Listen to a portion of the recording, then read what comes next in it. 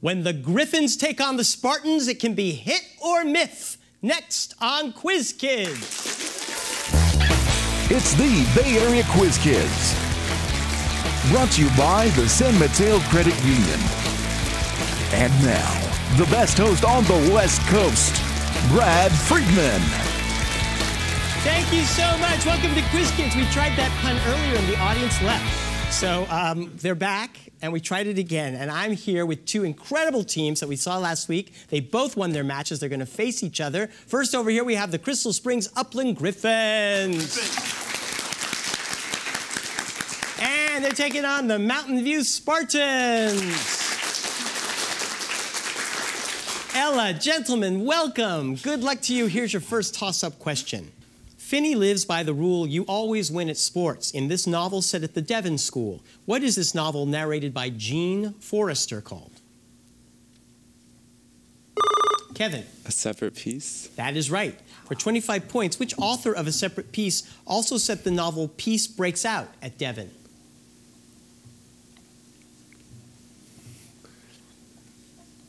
George?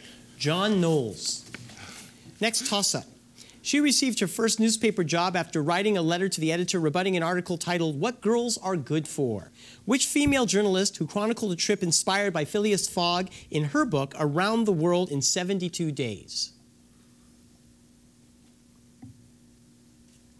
It was Nellie Bly. Next toss up. This musician led a namesake quartet that included Paul Desmond on saxophone, whose 1959 album Time Out included tracks in unusual time signatures such as Blue Rondo a la Turk and Take Five. Henry. Buddy Holly. No. You can steal.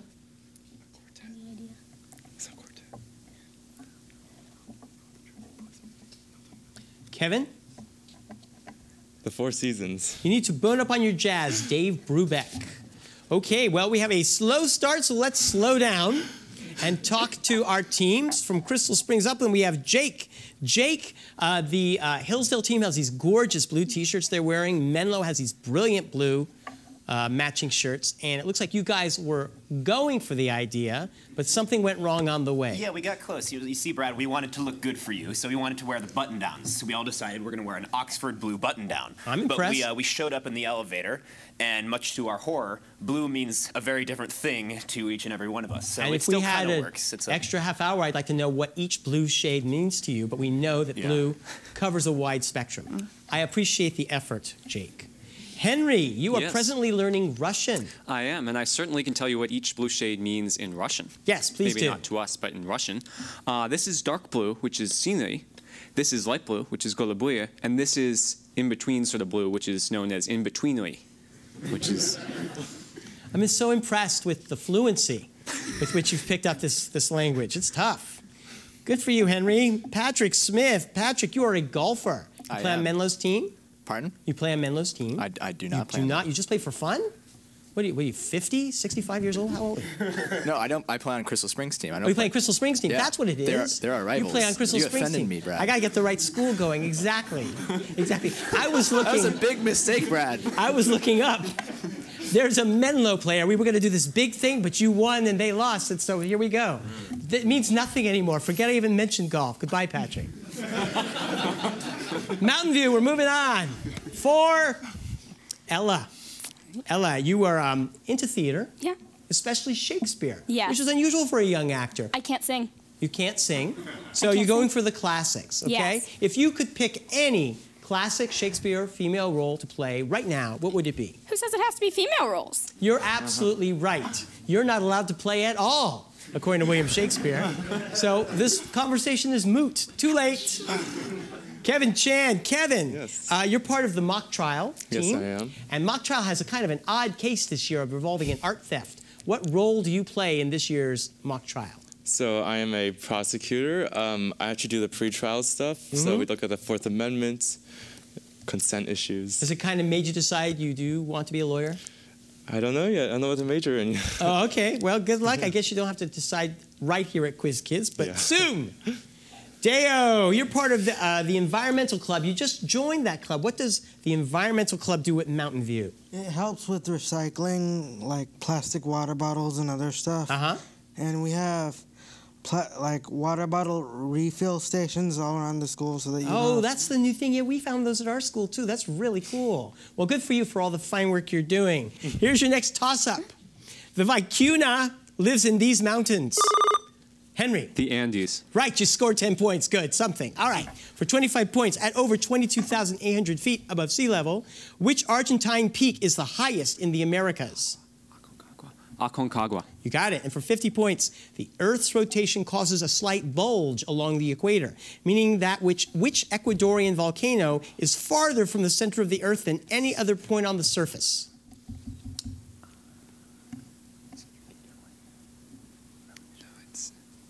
Henry. Vesuvius. Chimborazo.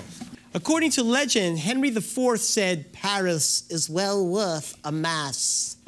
This statement expressed Henry's willingness to convert to what faith so as to be accepted as King of France? Patrick. Catholicism. That is right. For 25 points, Henry IV became the first French king of which dynasty that ruled France until 1792? The Bourbons. The Bourbons. Right. And for 50 points, despite his conversion to Catholicism, in 1598, Henry IV issued what proclamation to guarantee religious freedom to French Protestants? The Edict of Nantes. And that is a 50 point earn. Congratulations. Next toss up. This man was sentenced to prison on Robben Island after the Rivonia trial. Yes, Jake. Nelson Mandela. That is right. For 25 points, Mandela shared the 1993 Nobel Prize with which other South African president who helped end the system of apartheid? De Klerk. That is correct. And for 50 points, Mandela's successor as president was which man who resigned in 2008 after his deputy, Jacob Zuma, was charged with corruption? Mbeki. You got 50 points. Next toss up. Konrad Lorenz studied this behavior in ducklings. What do psychologists call a process? Yes, Ella. Narcissism or imprintation? That is right. For 25 points, birds plucking ticks off rhinoceroses and clownfish living in anemones are examples of which type of symbiotic relationship in which both partners benefit? Kevin? Um, mutual symbiosis.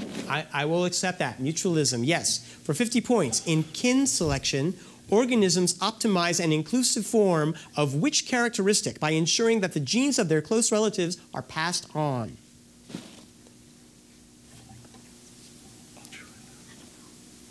Kevin? Altruism. Reproductive fitness.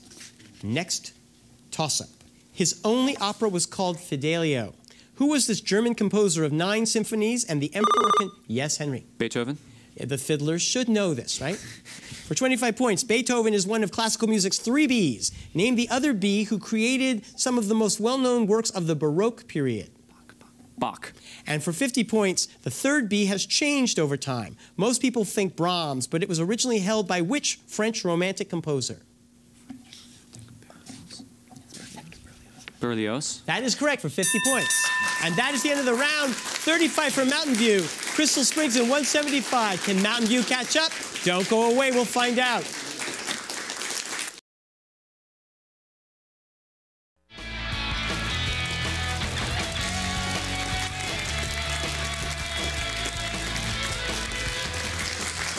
Let's say hello to the coaches. First, Patrick from Crystal Springs. His coach, his name is Dr. Keith Carricker.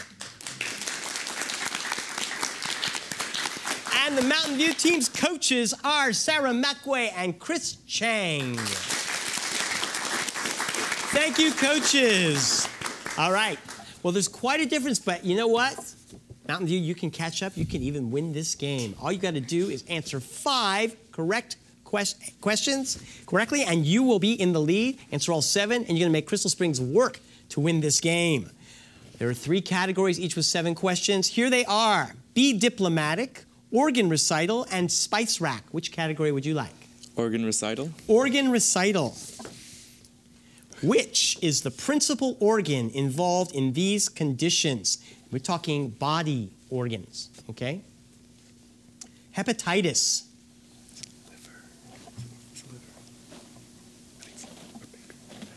Liver? That's right. Conjunctivitis. Eyes? That's right. Psoriasis. Yeah, skin, That is correct. Pneumonia. lungs, Right. Celiac disease, which is a sensitivity to gluten.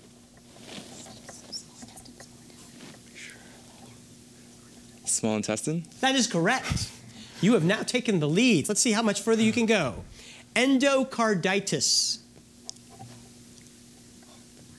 okay, heart, That is right. And finally, nephritis.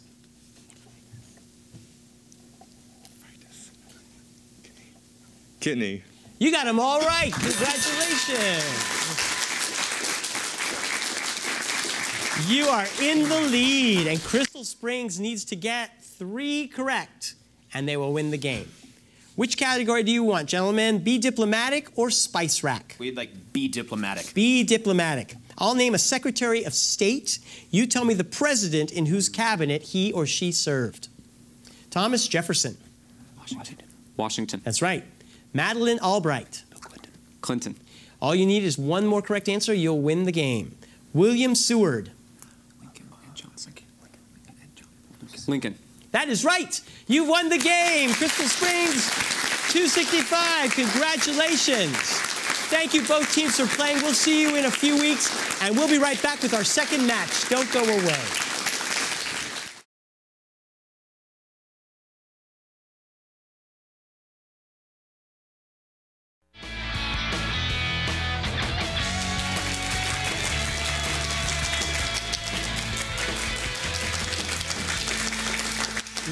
Are back, and this I don't think has ever happened to us in 16 years. This is so exciting. We're going to have the joust to end all jousts. We're going to have a true Game of Thrones here. In fact, one of our contestants looks a little like the late King Joffrey. So let's introduce the Hillsdale Knights.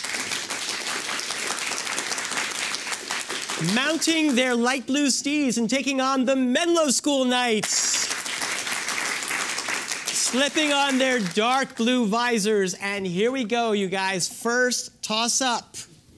Which Greek thinker from Elea is known for his paradoxes, including one about a race between Achilles and. yes, Grace. Zeno? That is right. For 25 points, which cynic who stressed self sufficiency wandered the streets of Athens in daylight with a lantern searching for an honest man? Can you say it? 'Cause Diogenes? that. That is right. For 50 points, which philosopher, a student of Leucippus, proposed that all matter is made up of indivisible particles he termed atoms? The Greek guy. Yes, it is a Greek guy. Homer. It was Democritus. Democritus. Democritus. Here's your next toss up. Electrons in atoms have four quantum numbers. Whose exclusion principle states that no two. Yes, Christopher. Pauli. That is right. For 25 points, the fourth quantum number signifies this quantity for which electrons can be either negative one half or positive one half. It can also be described as up or down. Spin. Correct. And for 50 points, an electron with principal quantum number n equals 3 can have this many values for the third quantum number m sub l.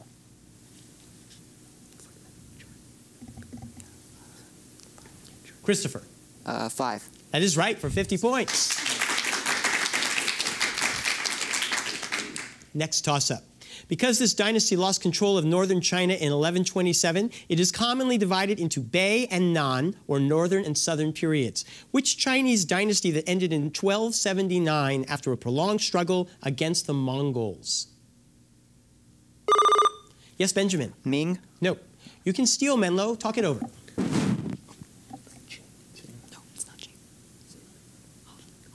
Christopher? Han. Song.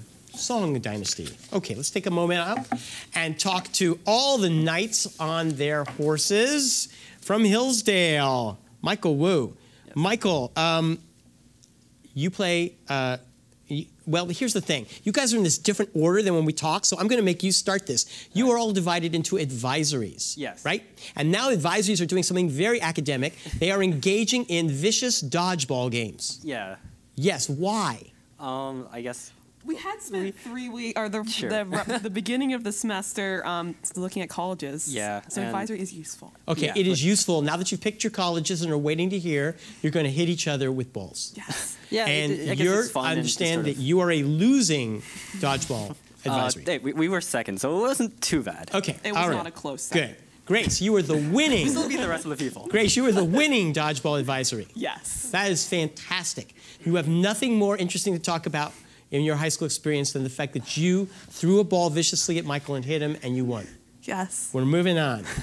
ben, your tutor- your advisory chose not to engage in dodgeball, No, no, no. the pacifists, but you are working on one acts right now in drama, not in advisory. Yes, uh, what the One Acts are, with our advanced drama class, we do these five short plays called One Acts, and the entire thing is entirely student run. Okay. All the acting is done by us, all the casting is done by us, all the sets and costumes are done by Do you us. write the plays? We don't write the, well, some of them are written by our students, not all of them are. Okay.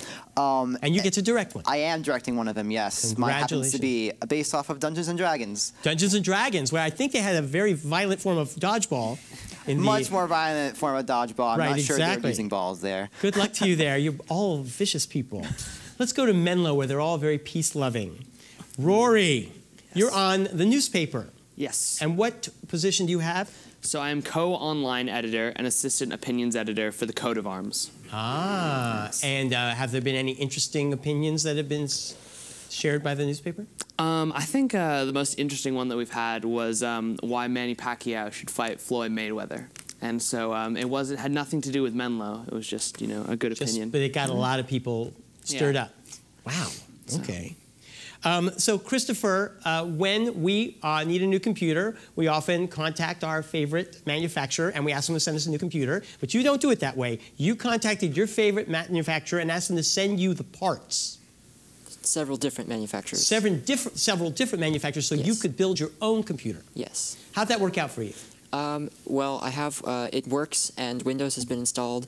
Um, the any moving graphics are kind of slideshow-like, so my graphics card still needs some configuring, but I can get a display and I can uh, I can run simple things on it now. So, And once you put it together, if you have a problem, do you have to call yourself at customer service? um, I have exhausted my knowledge of computers, well, so I have to call my friends. Call someone else. All right, your friend will help you. Um, David, you belong to a class that actually builds all kinds of interesting computer and technological devices. What did you just build? Yeah, so it's a class called Applied Science Research, Uh-huh. and uh, actually Christopher's in it too. And I, uh, I built an LED cube, so it's a three by three by three. Okay. And- he built his own computer for fun. You built a cube that just lights up. Right. Fabulous, David. Fabulous. Good luck to you with your future career. Let's continue with the game. David will need the money to win if he wins. Here's your next toss-up question. The symbol for this device is two separated parallel flat plates. Yes, Michael. Capacitor. That is right. For 25 points, the SI unit of capacitance is named after which English discoverer of electromagnetic induction? Farad. Yeah. Someone say it. Farad. Say what? Farad. No. Faraday. Faraday. Faraday, Oh. Michael Faraday. Next toss up. In AD 301, it became Asia's first officially Christian kingdom. Which modern day country has its capital at Yerevan? Michael. Armenia. Right. For 25 points, the Seljuk Turks founded the Sultanate of Rum and conquered Acre in 1291, completing the destruction of the Crusader kingdom named for which holy city?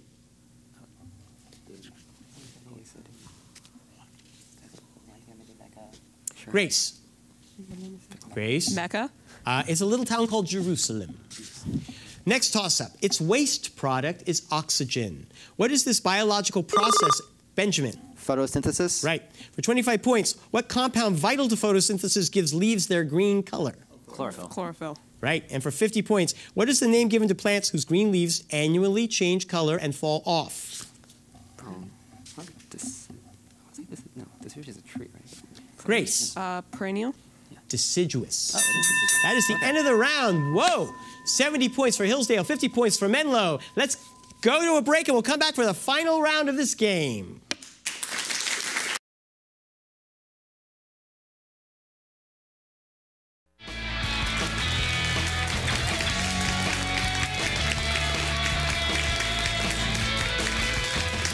Welcome back. Let's give a big hand to the coaches for all they do for their teams. First from Hillsdale, Mr. Ethan Stewart and Mr. Chris Stallings. And from Menlo School, Mr. Richard Steinberg. All right, you guys, 70 to 50. Menlo, you only need one correct answer to take the lead from Hillsdale, but you want to try and get all seven, I know, from one of the three categories we offer you today, and they are Fruit Stand, See the USA, and Be Afraid. See the USA. See the USA. Okay, I'm going to name a landmark, and you tell me which American city or town contains the landmark, okay? Where do you find the Liberty Bell? Philadelphia. Right. Where do you find the Space Needle? Seattle. Seattle. Correct. The National Baseball Hall of Fame and Museum. Louisville. No, Cooperstown, New York. Cooperstown. The Grand Ole Opry House. New Orleans. Well, that's in Nashville, Tennessee. The uh, Faneuil Hall. Boston. That's right. The Shedd Aquarium. Atlanta. No, I was just in this great town of Chicago. And finally, the Mark Twain Boyhood Home and Museum.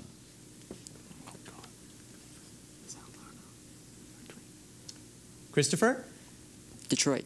No, it's Hannibal, Missouri. So I think you got three right, and that's 140 points. You have the lead. It looks like you need to get three, and you will win the game. Will it be from Fruit Stand or Be Afraid? Be afraid. Be afraid. These are all a phobia.